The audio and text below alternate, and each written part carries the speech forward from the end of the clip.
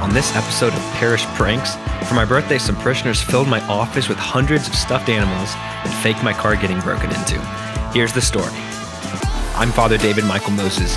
I'm 27 years old, I'm a Roman Catholic priest, and I just want to go to heaven and bring as many people with me as I can and have as much fun as possible along the way. The pranks all started last Just year. headed in the office. My office got filled with hundreds of balloons, Gonna try to get some work done. I had air horns taped under my chair. They completely covered my car in sticky notes. They put up a hundred pictures of me in my office. Oh my god.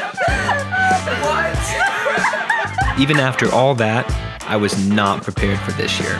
They started collecting stuffed animals to donate and had them make a stop in my office. The pastor unlocked the door for them. Father David Michael, this is not my fault. I didn't open the door for them. They filled the office with animals, had someone get inside the big teddy bear for a scare, and the stage was set. We're watching for the Jeep.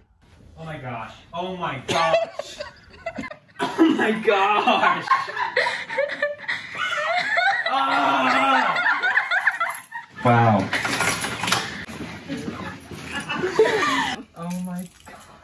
I kind of just want to just, just hop in. Go, go for it. Oh my gosh! Dang it! Oh my god!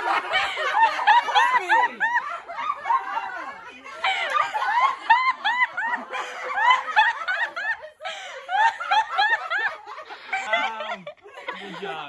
Good job. Good job. But they weren't done yet. After Mass, I come outside to find that the passenger window of my Jeep has been broken. The glove compartment's open, and there's glass in the door frame, on the seat, and all over the ground. This isn't part of the prank, is it? I'm not mad at all, don't freak out. But I think somebody's broken.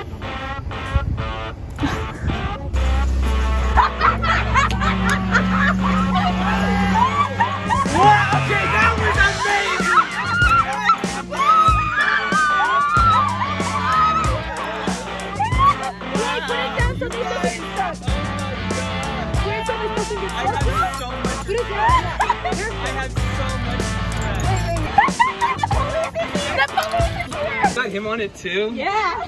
Like, this is not a good prank. Guys. I have so much respect. So much Then, they threw me a surprise party after Mass the next morning. 27 started off with a bang. The pranks, the broken window, that was all fake. But the good times, the memories, those couldn't be more real.